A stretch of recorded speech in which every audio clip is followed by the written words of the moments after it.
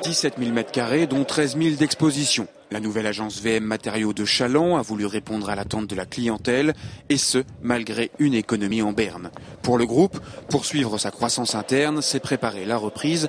Ici, on y croit dur comme fer. Après la pluie viendra le soleil. Il faut savoir euh, euh, naviguer avec, euh, avec prudence, mais en même temps, il faut préparer l'avenir.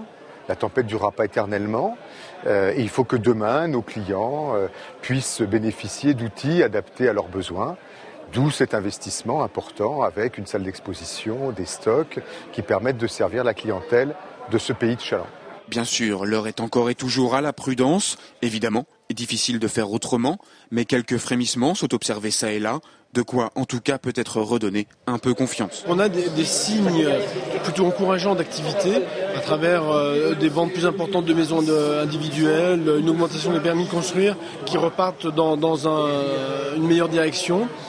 Alors cela dit, nous restons prudents puisqu'il faut quelques mois entre le moment où euh, un premier avant-projet est fait pour une maison et le moment où euh, nous pourrons euh, vendre les matériaux euh, liés à la, construction de la maison. Bref, il est beaucoup trop tôt pour parler de reprise, mais ces nouveaux locaux sont quoi qu'il en soit un signe de la bonne santé du groupe, présent à Chaland depuis 7 ans, mais qui proposait jusqu'à maintenant uniquement des matériaux de gros œuvres.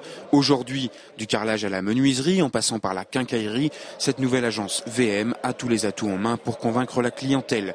Et c'est le cas depuis quelques temps déjà l'attrait de la nouveauté permet à l'évidence d'absorber les effets de la crise. La reprise, bien sûr, nous on l'a, mais est-ce que c'est la reprise euh, réelle ou est-ce que c'est le fait de la nouvelle agence? Je pense que c'est le fait de la nouvelle agence avant tout. VM s'était installé à Chaland en 2002 avec deux salariés. Sur ce site, implanté sur la route des sables, ils seront désormais une douzaine.